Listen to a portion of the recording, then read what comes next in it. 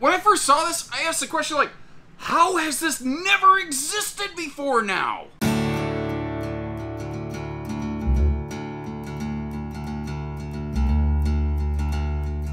Hello, welcome everybody. Josh RV Nerd here with Bish's RV at Forest River today. I was invited down for an early look at the very first run prototypes of their new View series from Salem and Wildwood.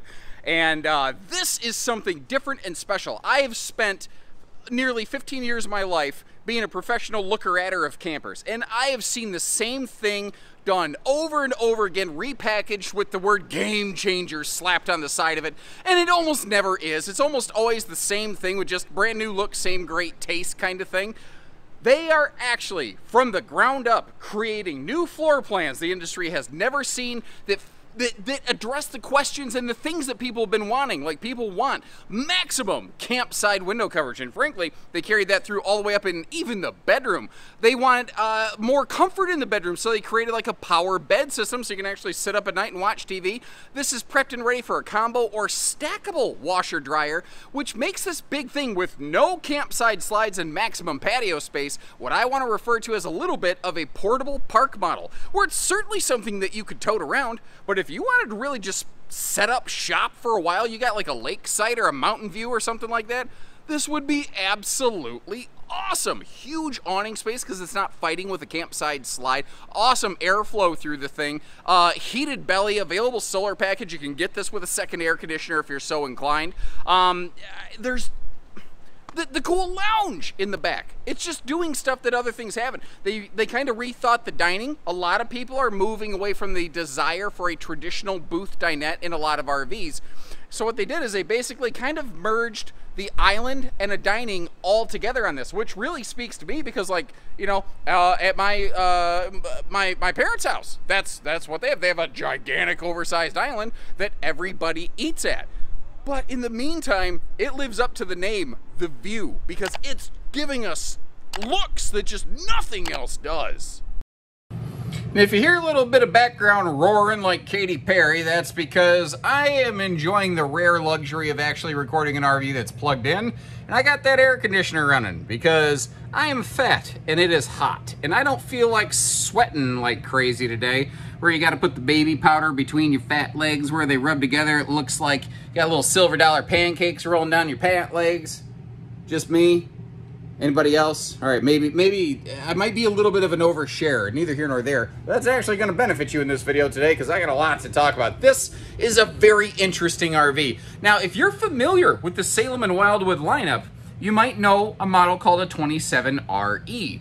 This basically is like two thirds of that same camper, but instead of a door side super slide with their Versa Lounge in it, they shoved almost like a sort of in a residential style, like sectional style uh, version of the Versa Lounge all the way back here, and have kind of come up with a new style of rear living room. Now, I think I've seen a couple other brands kind of touch on notes like that before, but this over here this ridiculous window coverage overlooking the campsite of your RV, totally unobstructed, all of it with, uh, you know, a patio awning over it.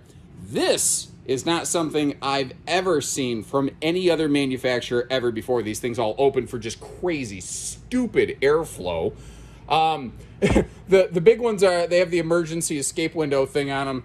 It, I mean, yeah, you, you could you could fit a sumo wrestler out of this thing in an emergency. Now, one of the cool things about this being still a stick-built camper is that they can put power outlets wherever they feel like it. And you've got household and USB outlets on both sides of this rear wall, kind of, uh, you know, sort of overlooking hanging out by the lounge, which I actually think is just absolutely fantastic positioning. Now, I really need to mention again, this is the very first View series prototype they ever made that we are actually standing in and recording right now today. So there are some things that have actually already changed. Uh, you know, I almost released the videos of these views in reverse order of how they were created. So I, I, know that's a little confusing that it feels like I'm working backwards in time, but I sort of wanted to show you the cool stuff first. But this is where it began right here. Now they don't include a TV from the factory, but you could mount yourself, I bet you put a 40 inch TV on that, I mean easily. You got the electric space heat and Tootsie Toaster down below. Uh, with the little, you know what? That could be a small dog pooch palace or something like that, or a handy little shoe garage. Um, and this might be an industry first. I don't even think Salem and Wildwood know they did it.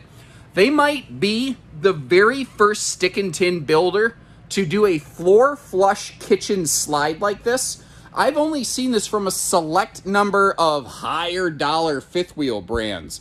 That that I, if they're not the first, I'm not aware of who else might have done it first. It's the first I've certainly seen it, but that's not to say that I, you know, I'm the only one that has the correct answers or anything. But look at this back here in this rear lounge.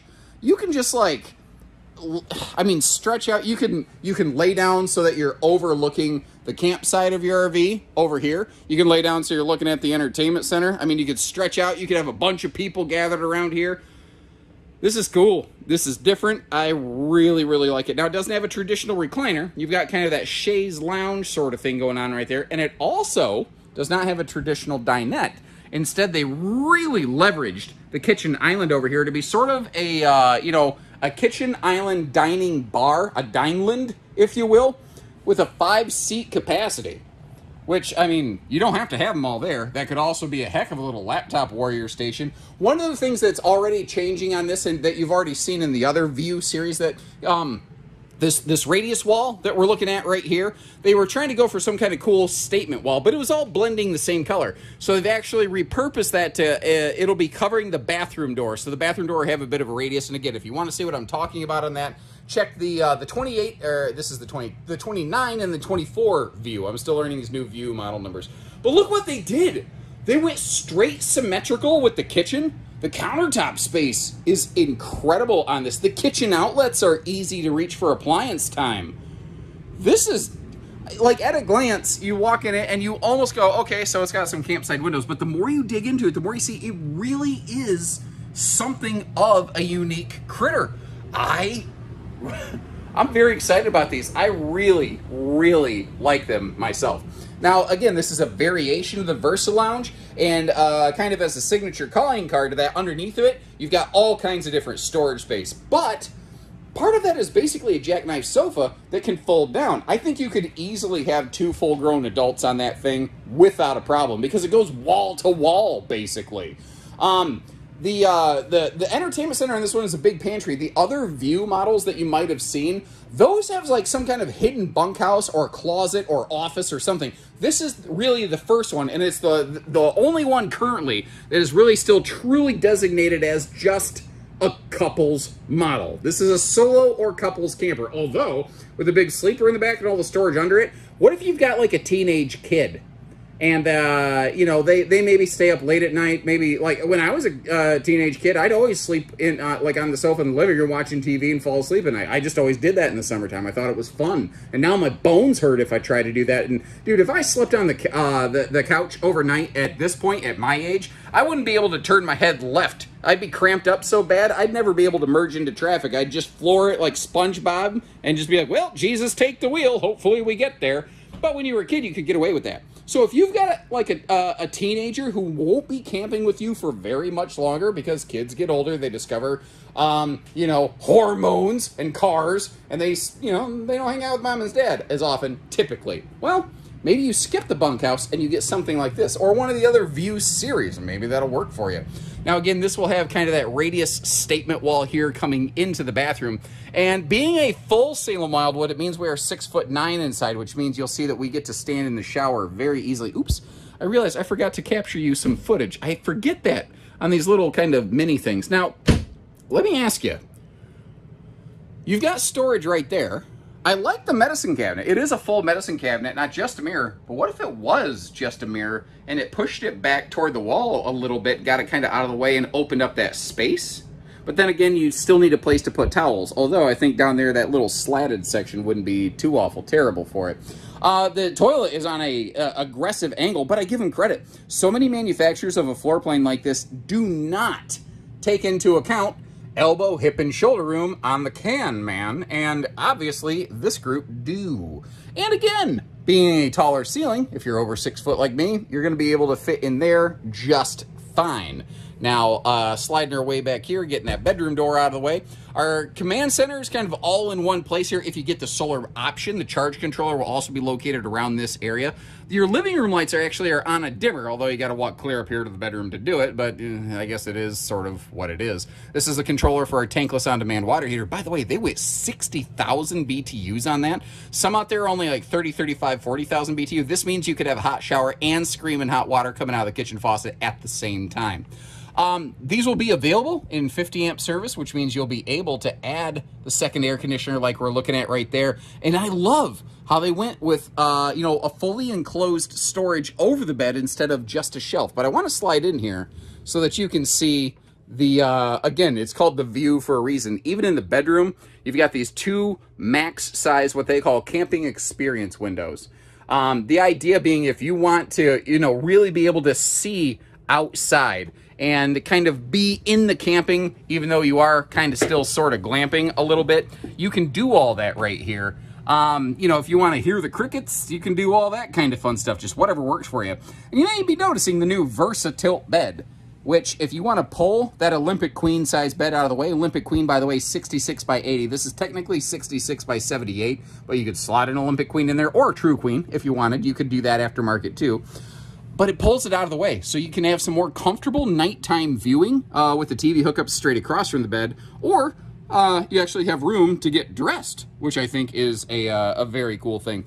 Now, Looking around a little bit further over here, uh, let's actually start down in this area, what, uh, they call their CPAP storage shelf uh, kind of system. Uh, that right there is designed, you know, you've got power outlets actually inside the cubbies, but what's also cool is if you're a little bit claustrophobic, it gives you a place to be able to, uh, you know, kind of put your face and not feel like you're enclosed in a box over there. It's also kind of a nice way to have some personal effects that are within reach but also out of plain sight, which is a nice thing for some people to be able to enjoy. But what is quite a nice surprise, uh, pretty much any of the View series that they possibly can. By the way, let me back up so you can see, yes, the TV hookups are located across from the bed. If I don't display them, someone's like, you were making it up. Well, I wasn't.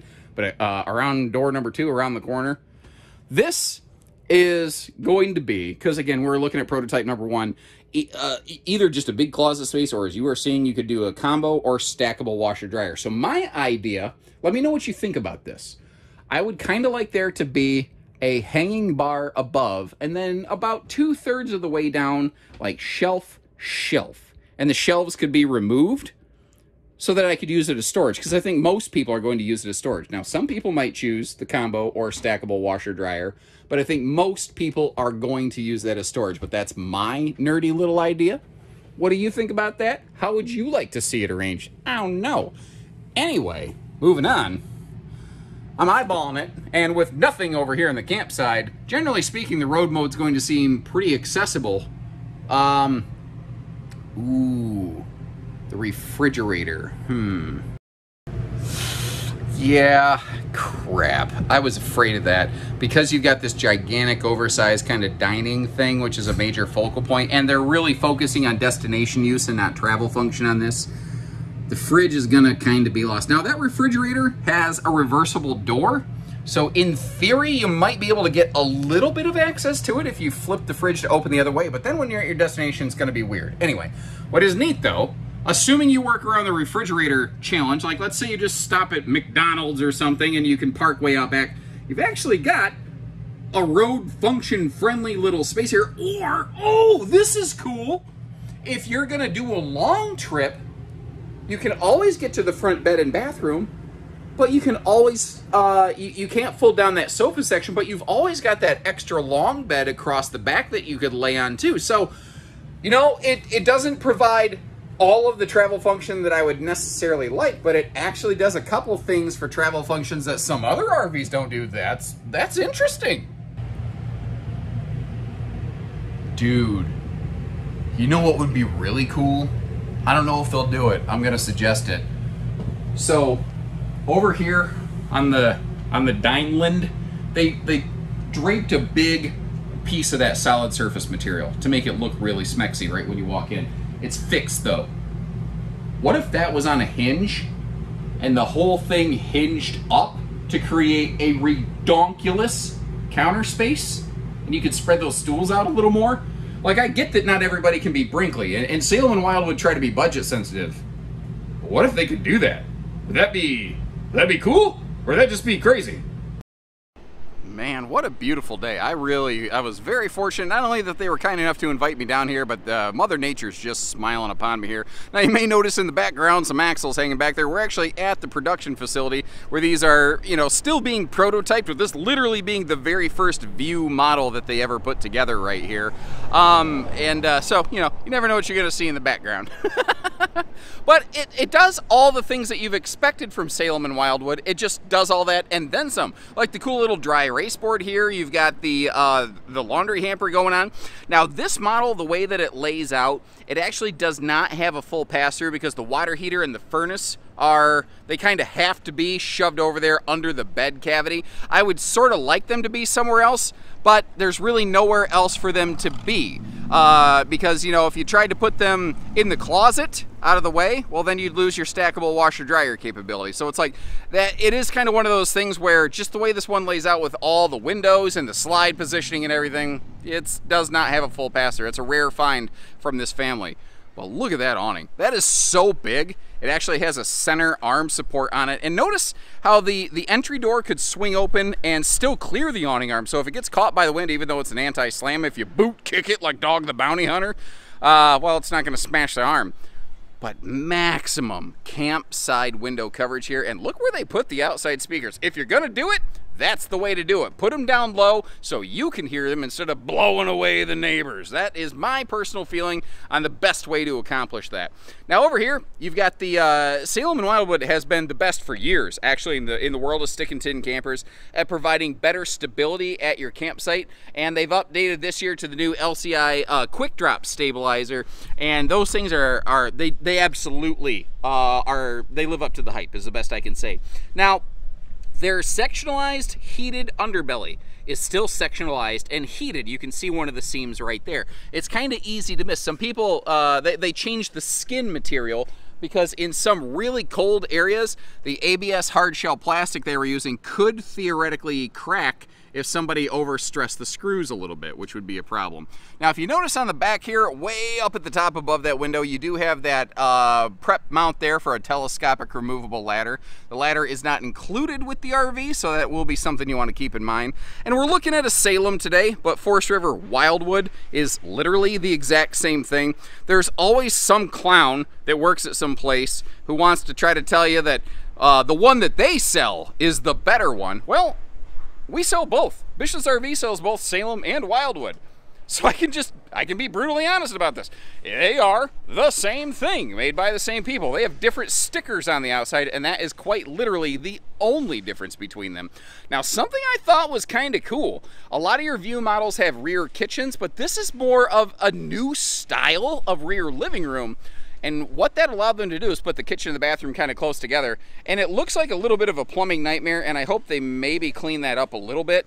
But it actually does have a single sewer outlet. Now you're going, no, it doesn't. I can see two of them pretty clearly. Your kitchen and your bathroom all exhaust out of the thing on the right-hand side.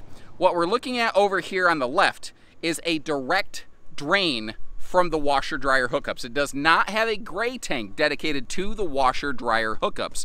So if you're going to use the washer dryer, you're probably going to uh, want to get some kind of Y splitter and you're going to benefit a lot from having on-site sewer because I don't think there's a, you know, a blue tote honey wagon tank big enough to be able to handle uh, a water load like that. Um, I suspect the, the washer dryer hookups, uh, they're like a microwave in a hotel room. A lot of people say they want a microwave in a hotel room, but they very rarely actually use it. Washer dryer hookups in the RV are, are the same way. 98% uh, of the washer dryer prepped RVs never have a washer dryer installed in them, and uh, only about half the people that actually install one end up being pretty glad they ever did. Now, that does mean there's some people like, uh, dude, I love my washer and dryer. I totally get that. I respect that. You should keep on keeping on, like Joe Dirt would say. But, you know, statistically, everything I just said is the case, even though some people just can't even imagine that being case. That is how the cookie crumbles. And I am right next to a swamp ditch and nearly just slid down in that sucker. Yeah, this is what I was talking about over here. Hey, look! Baby corn dogs! I mean, look at that. How often do you get a chance to see an organic baby corn dog? But as my friend Andy Dufresne would come to tell you, it was not a corn dog. It was a decision he would soon come to regret. So I hope you like the action today. Uh, this is the third of the View models that I've had the opportunity to record so far here, and they all they they they focus on that you know campsite window coverage. They have that common thread that binds them, but they all have their own different unique spin and flair. Like this is the the one that you could say is truly a couples model. The others have some variety of potential bunk function or bunction, if you will. Uh, I, I, if you haven't seen those, I, will leave some links in the video description. Check those things out. I would love to see what you think. And at the time this video comes out, these are brand new prototypes. We probably don't even have them on our website. So uh, if you check the links in the video description or scan this QR code right away when the video comes out, it will probably come up empty. Uh, I, I don't know what these things are running at the time of this recording, but our local folks, if we are sold out or if uh, they haven't come out yet, can get you those answers. I just wanted to get down here and get you that early footage. And if you appreciate the extra effort getting away, for, you know, even taking a day away from my family to come down here, please hit that subscribe button, like our video, uh, leave us some comments. Let us know what you think about this one. And remember, this was the very first prototype. Some things have already updated and taken place, which again, if you check those other videos, you'll get a, a sense of some of that. And remember, when you're ready, we're ready. And in the meantime, doing our best to always hear it first here, folks. So take care, stay safe, have fun, and happy camping, everyone.